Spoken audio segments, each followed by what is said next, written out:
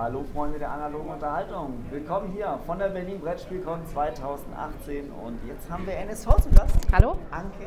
Muss man ja sagen, NSV auch so ein Berlin-Con-Veteran der ersten Stunde. Ja, wart durchaus. Jetzt, also ihr wart jetzt glaube ich auch schon dreimal da. Dreimal, genau. Dreimal da.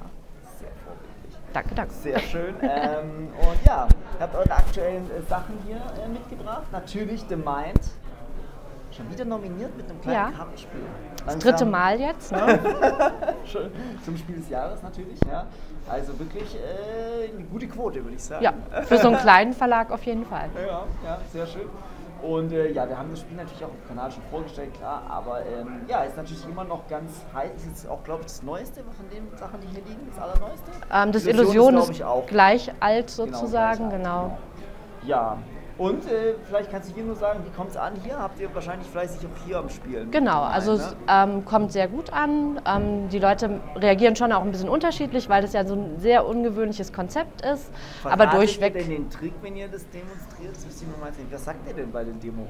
Ähm, also geht, was ihr machen sollt? Sagt ihr nichts? Sagt ihr, okay, probiert mal einfach? Eigentlich ja. Also man schubst die Leute so ein bisschen ins kalte Wasser, weil sie können, also wenn du es erklärst, können sie sich oft nicht vorstellen, wie es funktioniert. Das merkst dann immer so ein bisschen so die Fragezeichen, so was soll ich machen?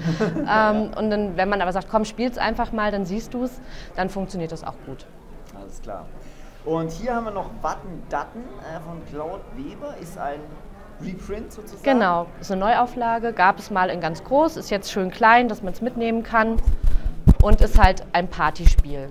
Mhm. Hier, man sieht, das ist das hier. Ne? Kannst du kurz erklären, was man da macht? Wer Genau, also- kennt, so wie ich zum Beispiel, kennt das Original. Genau, also normalerweise ist es so, dass man im Team erklärt, also wir beide müssten jetzt Begriff 1 einer Karte erklären, da steht jetzt Billard, weil ihr das nicht sehen könnt. Billard, Lokomotive, Schlips, Toilette. Also ich weiß nicht, Genau. ist ein bisschen klein, aber es sind halt so verschiedene Begriffe. Genau.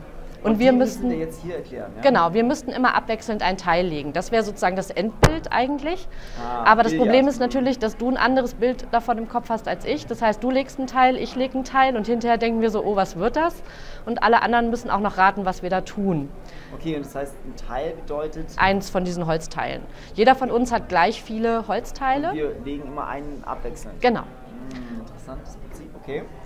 Ah ja, verstehe. Wir dürfen uns natürlich nicht absprechen. Ne? Wir Ja, dürfen ja. vorher nicht sagen, ach komm, wir machen den Tisch und legen da ein paar Kugeln drauf oder so, Mhm. sondern du fängst halt zum Beispiel an, legst ein Teil und ich denke dann, oh ja, mhm, interessant, okay, das wird das Kö und du denkst, okay, das ist die Umrandung, also müssen wir uns da im Verstehe. Spiel sozusagen ohne Worte einigen, was wir tun. Sehr schön, sehr schön. Ja, finde ich schon mal gleich interessant. Muss ich mal spielen, also habe ich echt noch nie gespielt.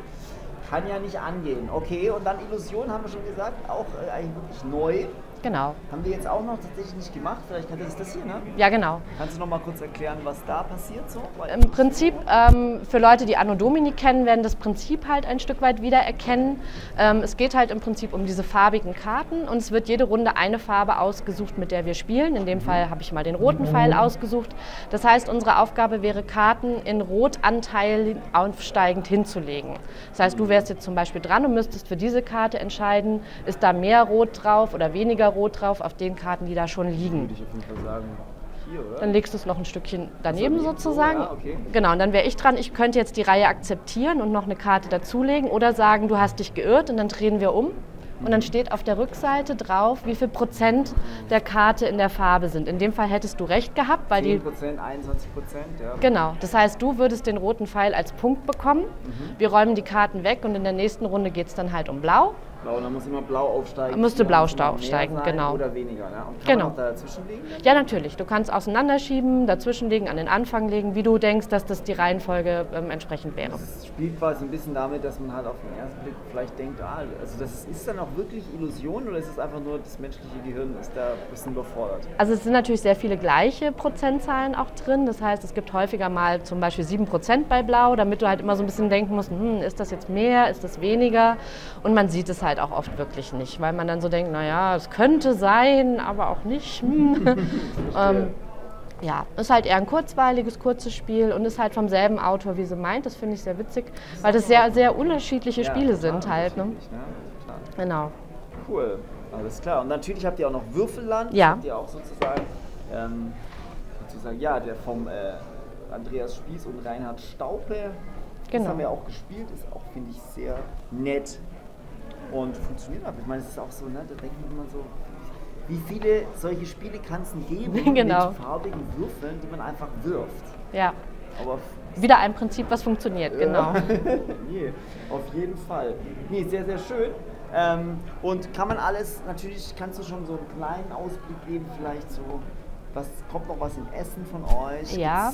Dinge, die, über die man schon Ja. spekulieren darf. Ein bisschen spekulieren darf, klar. Also es wird ein Würfelspiel geben ähm, und wir werden eine Kinderspielreihe bekommen. Oh, aha, Neuigkeiten bei NSV plötzlich Kinderspiel. Das hattet ihr vorher gar nicht. Genau, aber unser ähm, Redakteur, der Reinhard Staupe, ist ja eigentlich aus dem Kinderspielbereich groß ähm, und der hat jetzt zwei sehr schöne Kinderspiele, finde ich, gemacht und die werden in Essen rauskommen. Alles klar, das muss man sich natürlich merken, Ja. plötzlich bei NSV Kinderspiele zu finden. Ja, äh, vielen Dank Gerne. Äh, für diese Auswahl. Ja? Und äh, wir sagen Tschüss. Das ist Tschüss. ja unser Sommerprogramm hier. Das heißt ja, jeden Tag hier Videos von der BerlinCon, was es hier alles gab. Wir sehen uns beim nächsten Mal. Bis dahin. Tschüss.